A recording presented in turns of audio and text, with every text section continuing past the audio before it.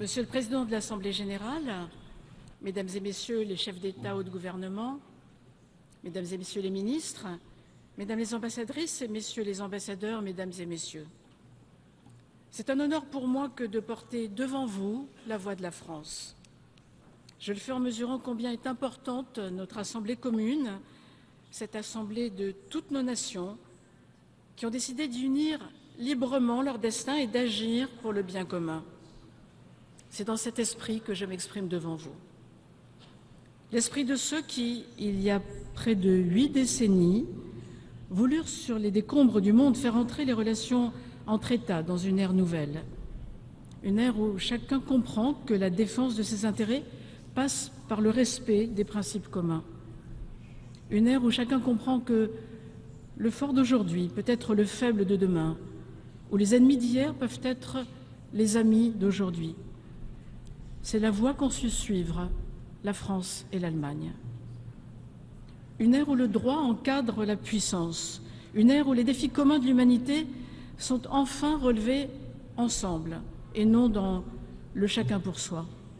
C'est ce que nous avons appris à faire en surmontant en Europe des siècles de conflits, par la coopération et par la confiance. C'est cette recherche du bien commun, c'est cet esprit des Nations Unies qui anime l'action internationale de la France. C'est l'esprit d'une puissance confiante dans ses principes, solidaire et toujours disposée à agir collectivement pour le bien commun. Nos principes, quels sont-ils? Ils sont ceux que cette Assemblée a réaffirmés à d'écrasante majorité lorsqu'elle a condamné l'agression russe contre l'Ukraine à déjà trois reprises. Rien, ni moralement ni juridiquement, ne pourra jamais justifier d'envahir son voisin, de tenter des annexions par des manœuvres indignes et d'en martyriser la population. La France défend les principes simples d'égalité entre États, de respect de leur intégrité territoriale et de leur souveraineté, principes avec lesquels personne ne peut transiger. La France défend aussi le principe de la sécurité alimentaire. Qui pourra croire, malgré la confusion et la propagande que certains répandent à l'envie, que celui qui détruit les céréales et les silos à grains a le moindre intérêt pour la sécurité alimentaire mondiale, alors qu'il en est l'ennemi? Ce que nous voyons, c'est l'expression d'une brutalité pure, capable d'user de toutes les armes, même celle de la faim, pour tenter de ressusciter sa chimère impérialiste. Face à cela, d'autres, dont la France, agissent concrètement.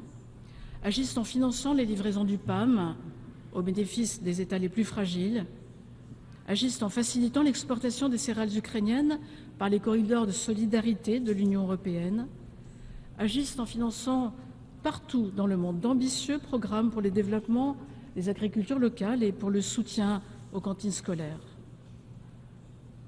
La France défend aussi le principe de l'inviolabilité du patrimoine historique des nations, cet héritage des cultures de l'humanité. À Mossoul ou à Tombouctou hier, à Odessa ou Lviv aujourd'hui, partout, la France soutient les actions de ceux qui défendent les trésors historiques que la haine menace de détruire. La France soutient enfin, et je dirais évidemment, le principe de la lutte contre l'impunité des crimes. Notre soutien à la Cour pénale internationale s'exprime partout, au Sahel, pour juger les djihadistes que la France avait fait plier hier et qui, de nouveau, menacent une région entière. En Ukraine, bien sûr, où des crimes de guerre et des crimes contre l'humanité sont commis quotidiennement contre la population. Ce qui se joue en Ukraine nous concerne tous. Si nous laissions nos principes communs être transgressés là-bas, ils le seront partout. Si nous laissions une agression être récompensée, d'autres se produiront là ou ailleurs. Mesdames et Messieurs, la guerre d'agression russe est aussi un coup porté aux pays les plus vulnérables. Elle impose aujourd'hui à tous un devoir de solidarité. La France est devenue en 2022 le quatrième acteur de cette solidarité en rejoignant trois puissances amies, les États-Unis, le Japon et l'Allemagne. C'est le résultat d'un patient investissement que je suis fier de vous présenter.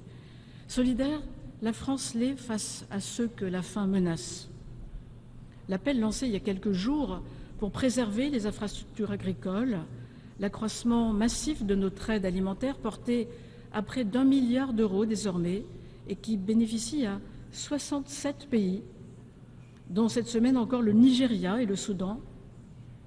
L'accueil prochain de la coalition pour l'alimentation scolaire à Paris les 18 et 19 octobre et la réunion de reconstitution du Fonds international pour le développement agricole en décembre, avec l'objectif fixé d'une reconstitution à hauteur de 2 milliards de dollars, en témoigne. Notre action de solidarité vise également à permettre l'accès de tous au financement nécessaire à la lutte contre la pauvreté et aux transitions énergétiques, dans la ligne de l'agenda ambitieux des Nations Unies pour l'atteinte des objectifs de développement durable.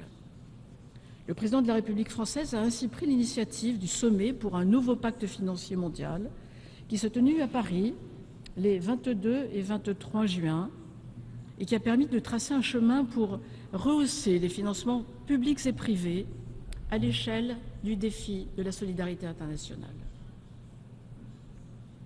Ce sommet a donné lieu à des résultats positifs, des résultats immédiats, comme la signature d'un partenariat pour la transition énergétique au Sénégal, JETPI, ou encore l'accord trouvé sur euh, la dette de la Zambie. Des engagements pour lesquels la France s'est mobilisée depuis des années ont aussi pu être tenus. C'est le cas, par exemple, de la réallocation de 100 milliards de droits de tirage spéciaux. Le pacte de Paris pour les peuples et la planète, qui a résulté de ce sommet fin juin, pose des principes clairs afin d'affronter à la fois le défi de la pauvreté et ceux du changement climatique et de la perte de biodiversité, en faisant en sorte que aucun pays n'ait à choisir entre ces objectifs. J'appelle tous les États qui ne l'ont pas encore fait à endosser ce pacte. Notre action de solidarité, c'est aussi celle d'un pays qui a dépassé de plus d'un milliard d'euros ses promesses d'engagement financier sur le climat, en les portant désormais à 7,6 milliards d'euros en 2022. C'est celle d'un pays qui continuera d'œuvrer sans relâche pour protéger les poumons de la planète. La France accueillera ainsi en juin 2025 la conférence des Nations Unies sur l'océan qu'elle co-organisera avec le Costa Rica afin de renforcer autant que possible la protection de ce puits de carbone essentiel que sont les océans. Je compte sur votre soutien, tout comme celui à notre engagement à protéger les forêts et à construire des partenariats pour leur conservation. Notre action de solidarité, c'est celle d'un pays qui sera toujours engagé pour la promotion et la défense des droits de l'homme. En décembre prochain, nous célébrerons le 75e anniversaire de la Déclaration universelle des droits de l'homme à Paris et à Genève. Ce sera l'occasion de rendre hommage à celles et ceux qui luttent pour défendre les droits et libertés, pour sauvegarder la dignité humaine, ces droits auxquels nous aspirons tous, sous toutes les latitudes. Je pense aux droits des femmes, notamment en Afghanistan, où elles sont réprimées en tant que telles par un régime taliban qui a tragiquement placé une politique de ségrégation et de violence contre les femmes au cœur de son identité politique. Notre solidarité va aussi à celles et ceux qui s'engagent pour les autres et parfois ils le font au péril de leur vie. Je pense aux casques bleus. Je pense aussi aux 116 travailleurs humanitaires qui ont été tués, comme à ceux qui ont été blessés ou kidnappés en 2022. Nous devons mieux les protéger et la France restera pleinement mobilisée à leur côté, comme nous l'avons fait cette semaine avec euh, nos partenaires humanitaires ici aux Nations Unies. Forte de ces principes, la France se tiendra toujours prête pour une action collective au service du bien commun. Sur le plan du climat, nous voyons aujourd'hui ce que notre manque d'ambition pourrait produire de désastres.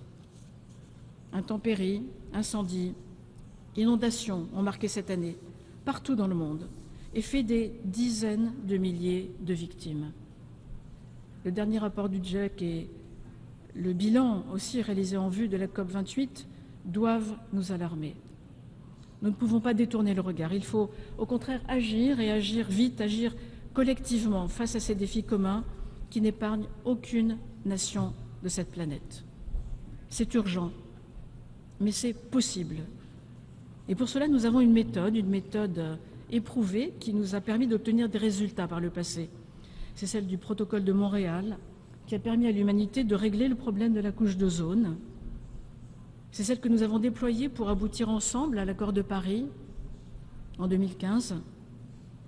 C'est aussi cette méthode qui doit faire entrer en vigueur bientôt, dès que possible, le traité BBNJ pour protéger les aires marines, ou encore celle qui permettra d'atteindre les objectifs ambitieux de l'accord de Kunming-Montréal sur la biodiversité et d'adopter, nous le souhaitons, il le faut, un accord juridiquement contraignant pour éliminer la pollution plastique. Cette méthode, la seule qui vaille pour aller au-delà de la prise de conscience et pour donc agir avec résolution, engagement et responsabilité, c'est le multilatéralisme.